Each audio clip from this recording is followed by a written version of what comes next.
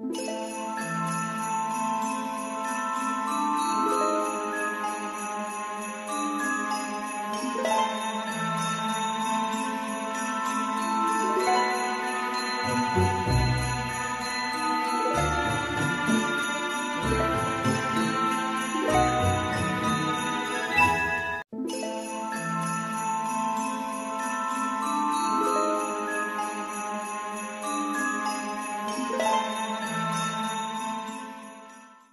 Praise the Lord. Welcome to this series titled Miracles from the Bible. I'm Dr. Johnson Cherian. In 2 Kings chapter 2, verses 19 to 21, the Bible says, Then the men of the city said to Elisha, Please notice the situation of the city is pleasant, as my Lord sees, but the water is bad and the ground barren. And he said, Bring me a new bowl and put salt in it. So they brought it to him. And then he went out to the source of the water and cast in the salt there and said, Thus says the Lord, I have healed this water. From it there shall be no more death or barrenness.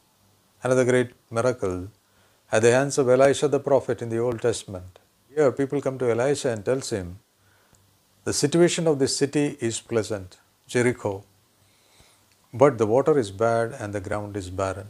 Now why was this city like that? Now if you read Deuteronomy chapter 28, there are blessings and curses that are written there. And from verse 15 onwards to the end of the chapter, we read about a lot of curses coming upon the people of God if they did not keep the commandments of God. And that is what had happened to this city. The city was pleasant, but the water was bad and the ground was barren. Now, what did Elisha do? Now, the prophets of God, they receive the word from the Lord and they speak to the people or do things. Here we see Elisha telling the men who came to him, Bring me a new bowl and put salt in it. Now, when we think about this miracle, let us not think about the new bowl or the salt that is there. But it was the word of the Lord that had come to Elisha in that manner. And Elisha goes to the source of the water and casts the salt there, puts the salt there. Now, it's not the salt that is going to cleanse the water, it's just a figurative act, but it is the word of the Lord and what is done together with that that is cleansing the water here.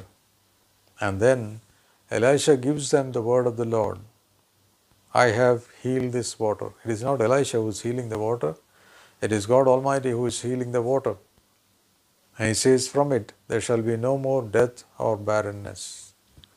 The curses that were written in Deuteronomy chapter 28 came into the lives of the people of Israel because they rebelled against God. They went into idolatry and they were suffering the punishment of God. But we see God doing a great miracle for His people again. He is cleansing the water so that there may be no barrenness and the water may be cleansed. And when we look at our lives, we need to cleanse ourselves with the Word of God each and every day.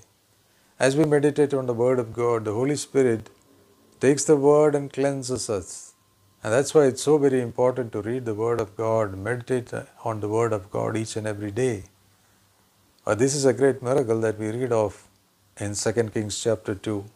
Elisha did many miracles, and this is one of them where he casts salt into a water source and the water is healed.